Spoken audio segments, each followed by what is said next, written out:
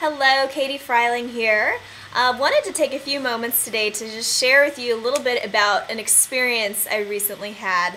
Uh, last week I went to a five-day silent meditation retreat. Now this was not um, a, a so-called vacation. Uh, in fact, the, the sole purpose of this retreat was to really just go deep into myself. You know, to, to be able to uh, let go of all the external distractions with work and personal life and all this kind of stuff and to really just have that that space to be able to really inquire and go deep and, and really find and, and realize and sense the truest nature of myself. So there was really a, a real reason and purpose for, for wanting to do this. And it's definitely not something that's for everybody. I fully realize that. But I just thought that um, you might be able to take some value out of what I got out of it and some of the insights that I kind of came across. And I just want to tell you, first off, that what I was able to see and experience about myself, um, I really cannot put into words. Uh, no, no words can ever do it justice. In fact, words are just cheap. You got to go experience it and, and know it for yourself. Absolutely but I did want to, um, you know, just share a little bit with you here today. Uh, hopefully inspire you to, to maybe want to go deeper within yourself and uh, start to get a sense uh, of your true nature as well. So, okay, so five days of silence. Now, most of us have never done this before, ever, to turn off cell phones, to not speak to anybody, and to um, really meditate for, for hours throughout the day. Um, and I've got to say, it was it was such an amazing, beautiful experience. I would highly recommend it to anybody. And this is not something that's dogmatic. It's not about a certain religion.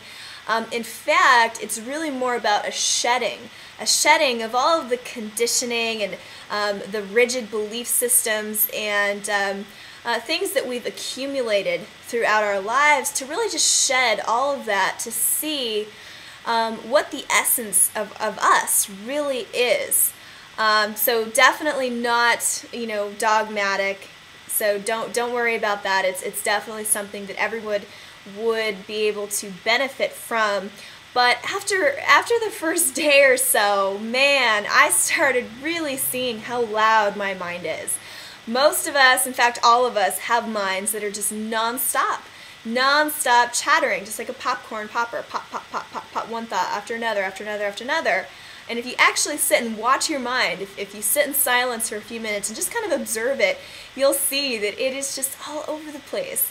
So to actually, you know, uh, be immersed in that silence and see firsthand just how loud my mind is was um, was really a, a, a revelation for me, because then I was able to get into the space of just observing.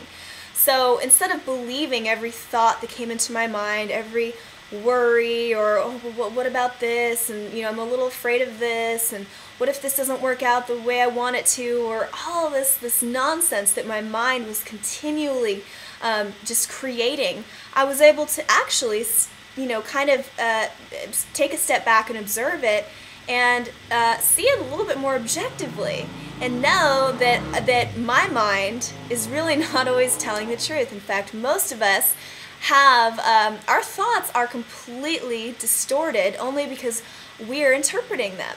We are interpreting reality through our minds, so it's never going to be fully objective. It's never going to be fully truthful. There's always going to be a bias because it's our minds interpreting reality for us. So after really realizing that, you know what? most of us are going around um, just kind of being led on a leash, kind of like a dog on a leash by our minds. We're just being dragged around to believe whatever our mind tells us. And it's really uh, incredibly liberating to start to see how untrue that is. And uh, just to really know that, that we don't have to, to believe our minds and to believe everything that the mind perpetuates because the mind naturally cannot be satisfied in the present moment. There's always some kind of yearning or wanting something else or kind of resisting this or this isn't good enough or we want this instead. Uh, if you watch it, you really start to see it's very, very fascinating. Very fascinating. So the purpose of being in silence for, for five days is not really necessarily to calm the mind, um, you know, or manipulate the mind to be calmer, although that is a byproduct of what happens after you are in silence and meditating for five days. My mind was definitely much more calm, much more serene by the end. Um, but it's really just about um, stepping into the role of, of observer of what our minds do and knowing that that's not really who we are.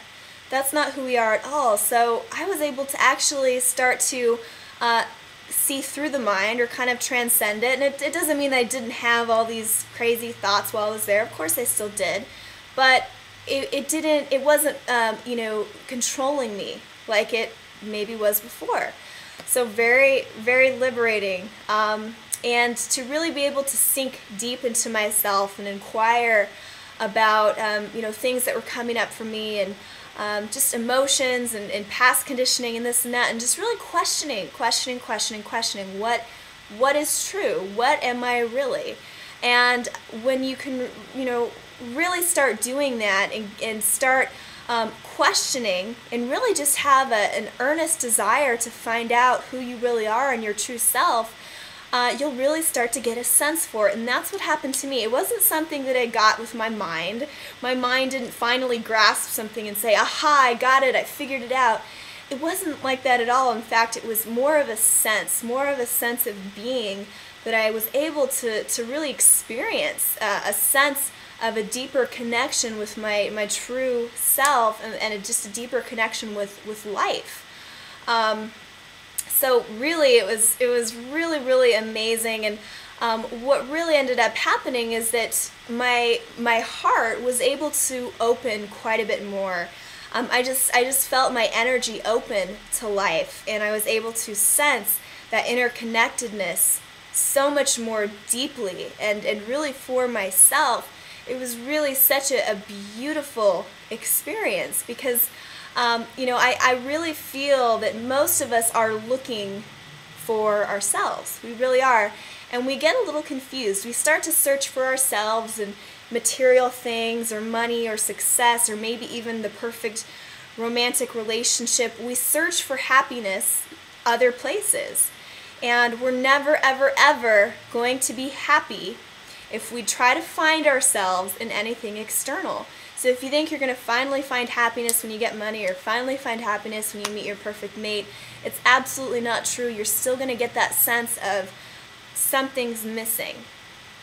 And only when you can truly know who you are and know yourself and really have that, that intimate connection with yourself first and find that true and just utter satisfaction with you, with yourself, and find happiness there, um, that is true freedom, true liberation, true satisfaction, true happiness, true joy, and true love.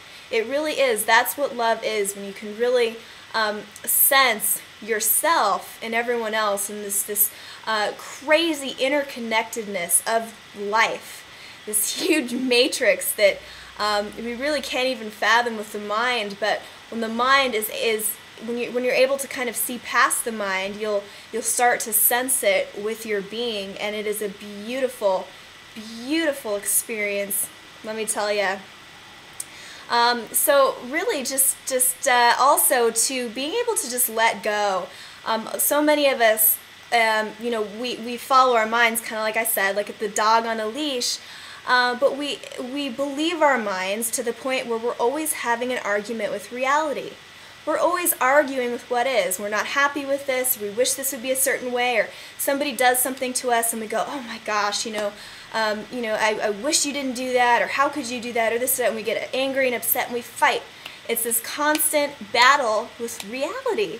So you know, I guess the biggest lesson that I can share, the biggest insight I can share is, is to really let go of your control, to let go of, of what you think reality should be, and to just let life flow, and to not have such a, a, a strong grip and, and to try to control or fight and resist what is really happening. So when you really kind of just step back, I'm actually running out of time here, but when you really just step back and um, you know you're able to just have everything be okay and let reality just be and let yourself just be. Um, it's it's really incredible. It's it's where true freedom lies. So thanks so much for hanging out with me today. I hope you got some some you know good information. Leave me a comment if you'd like. Um, it might not have made complete sense to you, but um, anyway, just looking forward to sharing more with you in the future. Thanks so much. Bye bye.